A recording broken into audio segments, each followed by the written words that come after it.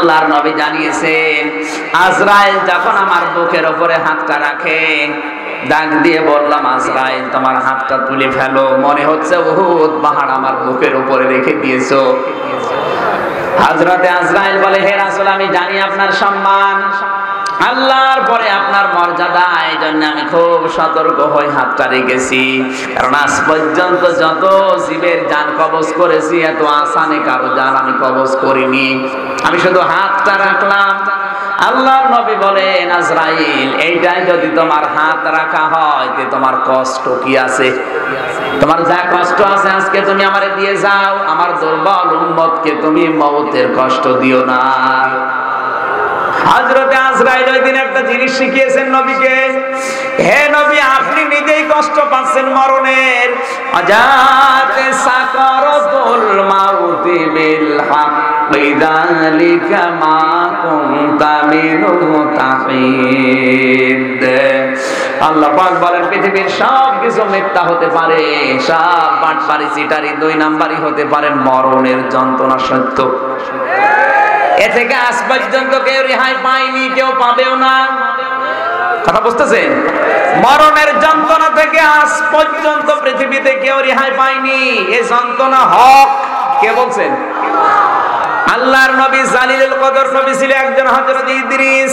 তিনি একবার বলেছিলেন, আল্লাহ, তোমার ফেরেশতা আজরাইলকে আমার খুব ভালো লাগে।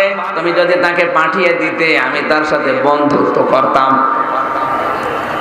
হজরতে আজরাইল এসেছে মানুষের সোরাত নিয়ে। ইদ্রিস বললেন, ভাই আজরাইল, আমি আপনার সাথে বন্ধুত্ব করতে রাজি আছি, কিন্তু আমার আছে তিনটা। আপনি তো মানুষের জান কবজ করেন।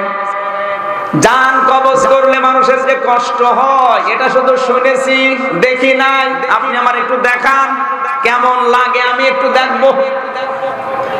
হযরতে আজরাইল ডাক দিয়ে বলে, রব্বুল আলামিন, নবী মনে করে গেলাম যে ভালো, কিন্তু না, এ তো ভেজাল, এ মরে দেখতে চাই। আল্লাহ তাআলা বলেন, ঠিক আছে, আমার বান্দা যখন আকাঙ্ক্ষা করেছে, তাকে মরণের যন্ত্রণা একটু দেখাও। এরপরে আবার ঢুকিয়ে দিও।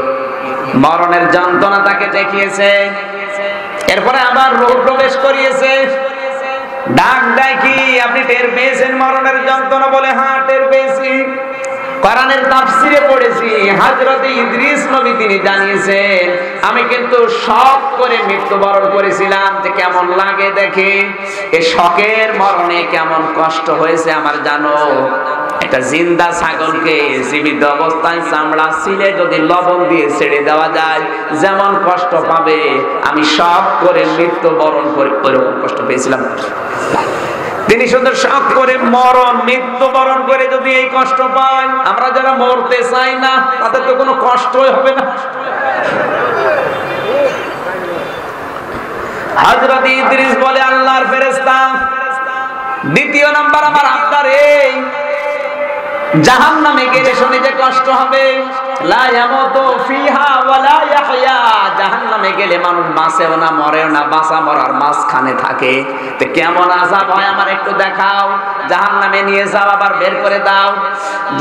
প্রবেশ করি, আবার নিয়ে এসেছে।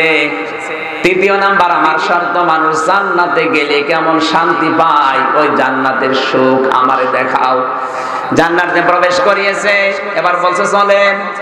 হযরত ইদ্রিস নবী বলছে, আজরাইল, তুমি ফিরে যাও, আমি আর যাব না। কারণ আমি আল্লাহর বক্তব্য জানি ফিহা লা ইয়াবগুনা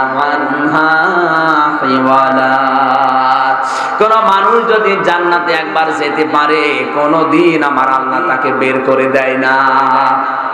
আল্লাহ নিজেই তো জানিয়েছে যে বের করে দেয় না। তুমি বারবার ডিস্টার্ব করো তো যে কোনো কায়দায় জান্নাতে চলেই এসেছি। ফিরে যাও। হযরতে আজরাইল বলে, রব্বুল আলামিন, তোমার নবী ইদ্রিস খুব চালাক।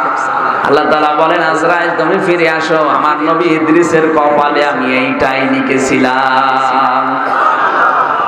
আমার জেনাইদা বাসী এখান থেকে যে শিক্ষাটা পেয়েছি, পৃথিবীতে এত দামি নবী, জালিলুল কদর আদরের নবী পর্যন্ত মরণের যন্ত্রণা থেকে রেহাই। আরও জোরে বলে খ্যাতনামা ইসলামিক স্কলারদের বক্তব্য শুনতে আমাদের সঙ্গেই থাকুন নিয়মিত আপডেট পেতে সাবস্ক্রাইব করে বেল বাটনে প্রেস করুন Rosni 24. Enjoy the Holy Quran.